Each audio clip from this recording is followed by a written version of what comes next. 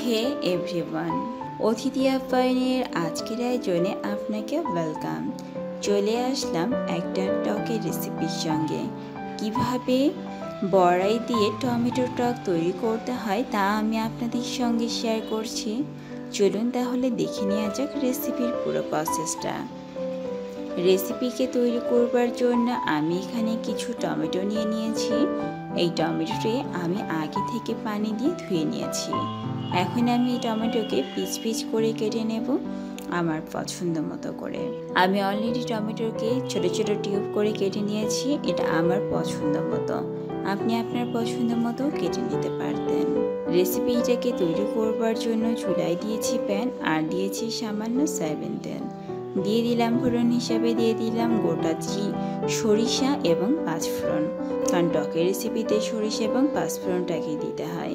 এখন দিয়ে দিয়েছি টিউব করে কেটে রাখা যে টমেটোগুলো ছিল, সেই টমেটোগুলোকে।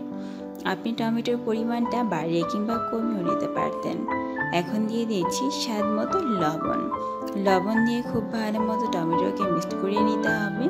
দিয়ে দিলাম সামান্য কিছুটা হলুদ গুঁড়া। এখন সবগুলো উপকরণকে খুব ভালো মতো মিক্সড করিয়ে নিয়ে ঢাকা দিয়ে দেব, যাতে আমার টমেটোটা খুব সুন্দর মতো সিদ্ধ করা যায়। প্রথম অবস্থায় খুব ভালো মতো টমেটোকে সিদ্ধ করে নিতে হবে। তারপরে কিন্তু এর মধ্যে অন্যান্য সব উপকরণগুলোকে মিক্স করে দিতে হবে। কিছুক্ষণ পর এসে ঢাকাটা তুলব মিনিমাম চার থেকে পাঁচ মিনিট পর। এসে দেখছি, দেখুন আমার টমেটোকে দেখেই মনে হচ্ছে সিদ্ধ হয়ে গেছে, অনেকটাই গলে গলে গেছে। ঠিক এর মধ্যে এখন অ্যাড করতে হবে অন্যান্য সব মশলাগুলোকে দিয়ে দিলাম পাঁচটা বড়ই। বড়ইটা কিন্তু এখানে আমি ইউজ করেছি দেশি বড়ই আর এখানে দিয়ে দিলাম তেঁতুলের গাঁদ। আর দিয়ে দিচ্ছি গুড়। গুড় দিয়ে টকটা তৈরি করছি। আপনি চাইলে চিনি দিয়েও তৈরি করতে পারতেন। বড়াই দিয়ে যদি এভাবে আপনি টমেটো টক তৈরি করেন, দেখবেন খেতে অনেক মজা লাগবে। আর আপনি বাড়িতে যদি তেঁতুল না থাকে, তাহলে আপনি তেঁতুলের পরিবর্তে কোনো আচার অ্যাড করতে পারেন। কোন তৈরি করা আচার যদি এই টকের মধ্যে দেওয়া যায়, তাহলে স্বাদটা অনেক অংশেই বেড়ে যায়। আমার টকটা কিন্তু এখন অনেকটাই টমেটোগুলো সিদ্ধ হয়ে গেছে, এই জন্য দিয়ে দিলাম এক কাপের মতো পানি। এই পানি দিয়ে রেসিপিটাকে ফুটিয়ে নিতে হবে, আরও পাঁচ থেকে সাত মিনিট, তারপর রেসিপিটাকে সার্ভিং বলে নামিয়ে নিতে হবে। এই প্রসেসে মিনিমাম ধীরে ধীরে পাঁচ সাত মিনিট জাল করে নেওয়ার পর দেখুন আমার রেসিপিটা কতটা থমথম হয়ে গেছে।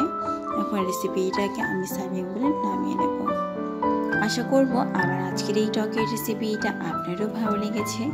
যদি রেসিপিটা আপনার সত্যিই ভালো লেগে থাকে কিংবা কোনো কাজে এসে থাকে, তাহলে অবশ্যই আমার চ্যানেলটাকে সাবস্ক্রাইব করবেন, আমার সঙ্গে থাকবেন এবং আমাকে কাজ করার উৎসাহ আরও বাড়িয়ে দেবেন। আজকের মতোই এখানেই বিদায় নিলাম। আগামীকাল দেখা হবে আবারও অন্য কোনো রেসিপির সাথে। সবাই ভালো থাকবেন, সুস্থ থাকবেন।